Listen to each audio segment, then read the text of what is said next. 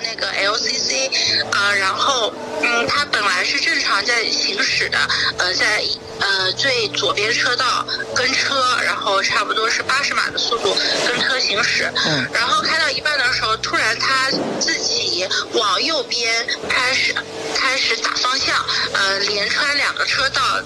撞到了呃第三呃我边上的边上那个车道的车，我当时我撞晕过去了，后面的情况我不清楚了。后面我通过行车记录仪才发才知道，应该是没有踩刹车，就是懵掉了。因为可能也是因为是新手驾驶的缘故，就是一下子没有就是及时的呃对这种这种情况出现一个正确的一个判断嘛。可能我懵掉之后，呃等到我撞完车之后，呃。可能我嗯，本来想踩刹车的，我踩了油门之后进行了第二次加速，撞到